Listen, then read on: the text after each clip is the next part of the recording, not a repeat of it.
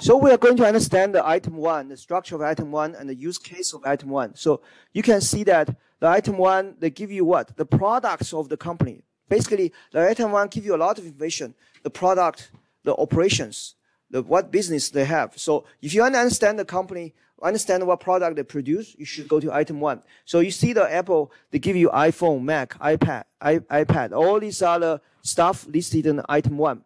And uh, you can see more stuff. Uh, they also give you like a competition, like how, what kind of competition the company is facing, right? And also research and R&D. So, and also customers and also uh, intellectual property. So, so item one, anything about the company's product, operations, competitions, supply chain, and uh, all this stuff you should find this uh, item one. But you make sure if you want a competition, you want to pass this out, right? You don't want to use the whole item one. You want to pass this section out to analyze how how what's the competition the company is facing, and um, and uh, also they give you the uh, general purpose and the stuff. So so what how people using item one? The one people using item one is to measure uh, product similarity. So so think about it. So so in this data, they give you the description of the iPhone, right? If you got iPhone. So you look at Samsung. Samsung also give the description of the product, right? So if you look at the the the the, the text similarity between the two product description, you can find out how close are these two products. That's how people can use that to measure the product similarity using the similarity between the two descriptions. That's one use case of the 10K. That's a use case of the one 10K.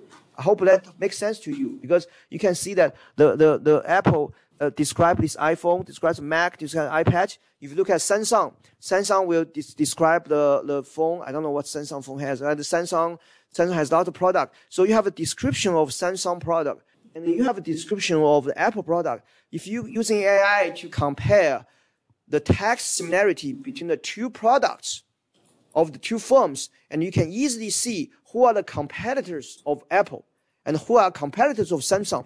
And then use that analysis, you can help managers to make a decision, help investors to make a decision, right? This is one user case of this. So what are the user cases? Also measuring new products. So how do we know what is new products? So, so the, the, the solution is easy. So this is, this is Apple's this year's, uh, uh, 2021, 2021, uh, new pro, uh, uh, 10K. So what you do is you compare this year's product with previous product. If you have sent anything new in this uh, item one, that's new product. And AI can easily help you do that. You just GPT, ask GPT, compare the two reports. GPT will tell you this is the new product for Apple for this year, right?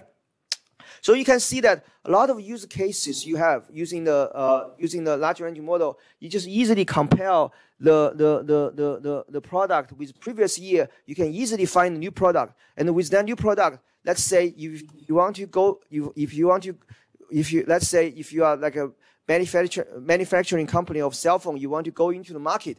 You don't know whether to go in or not. Use GPT to analyze this. You can see how many new product the competitive company is doing and then you can make a decision whether you are going to produce iPhone or not, right? So these are the these are the, uh, some of use case of this, and uh, and the competitions, right? You can measure competitions. You can also measure uh, merger acquisition synergies, and uh, you can also uh, once you have the product similarity, you can redefine the company at the industry level.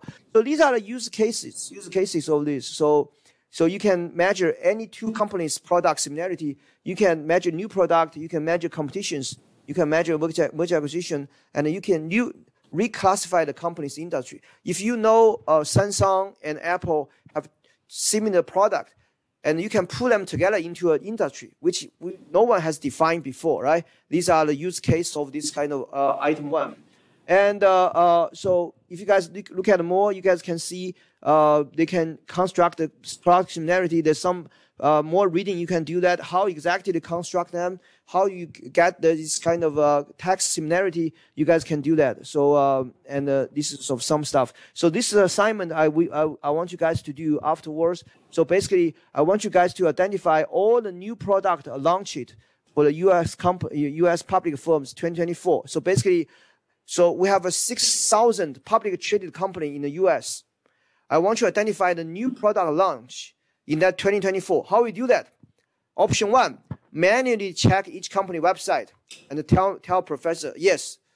The second one, don't manually do that. What do you do? So what do you do is you want to go to item one first. You get the product description, right?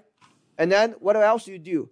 You want to get the you get get the sentence about the product uh, pro, about the uh, product description from the uh, 2024 and 2023, and then you can using the Google BERT to find what's the 10 sentence about new product, and then you can do the job. You can find new product for that company, right?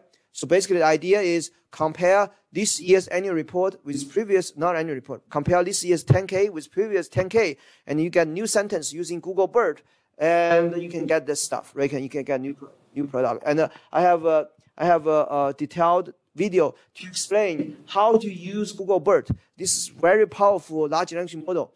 Everyone just fascinated about GPT, but Google BERT is also as powerful as I think. It's just difficult to use. GPT, you open the web page, you prompt it, you say, give me the answer. GPT give you, Google BERT can give you the same thing, but you have to program it. So it's difficult to use, but it's, it's very powerful. So, um, you can, I give a, I, I have a, I have a, um, I have a one hour, I have three videos explain the Google BERT, how you use them in a technical way. Okay. You guys can check that.